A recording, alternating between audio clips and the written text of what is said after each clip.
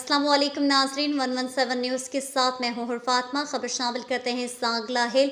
Mobile association की तकरीब हलफ बरदारी का इनका किया गया, जिसमें मेहमान खसूसी फ़ेज़ रसूल डोकर थे। Bureau chief Nadeem Mughal, Sangla Hill. Sangla Hill mobile association के नमंतब अरकान और हलफ बरदारी की तकरीब का अहतमाम निजी होटल में किया गया। तकरीब का आगाज़ तिलावत कुरान पाक और नात रसुल मकबूल से किया गया। तकरीब में सैकड़ों लोगों ने शिरकत की।